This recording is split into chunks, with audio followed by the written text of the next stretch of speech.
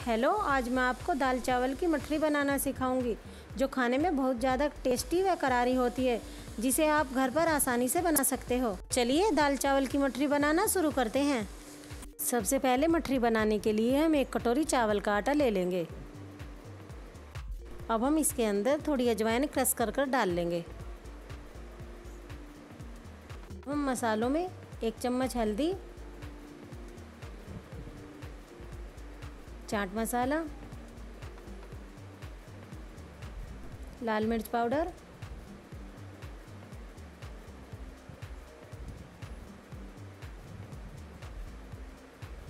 Chilli flakes,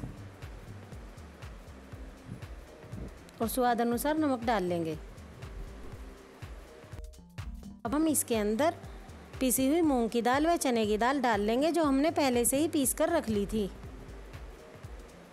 हम इसे अच्छी तरह से मिक्स कर लेंगे। इसमें पानी का कोई भी इस्तेमाल नहीं करना। मिक्स करने के बाद हमारा डो कुछ इस तरीके का हो जाएगा। के अंदर थोड़ी अलसी का इस्तेमाल करेंगे। आप चाहे तो काले तिल या सफ़ेद तिल भी ले सकते हो। हमने इसमें थोड़ा हरा धनिया भी डाल लिया है। हम इस डो का कुछ इस तरीके से लोइया बना लेंगे। अब आप देख सकते हो हमने कितनी सारी लोइयाँ बना ली हैं। हमने एक पोलोथीन ले लिया डो को इसके अंदर रख लेंगे। आप चाहें तो इसमें दो लोइयाँ भी रख सकते हो।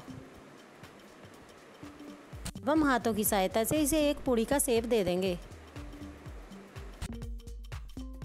चाहें तो कटोरी का भी इस्तेमाल कर सकते हो।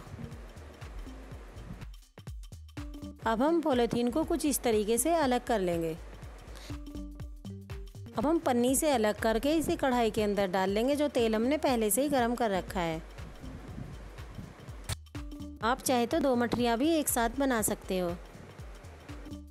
आप देख सकते हो हमारी मठरी कितनी ज़्यादा क्रंची बनी है। मैंने प्लेट के अंदर निकाल लेंगे। अगर हमारी वीडियो आपको अच्छी लगे तो लाइक करें, कमेंट करें, शेयर करें, सब्सक्राइब करके बेल आइकन ऑन करें।